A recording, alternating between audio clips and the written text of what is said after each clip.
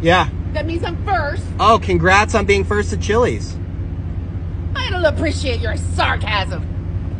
What are you doing?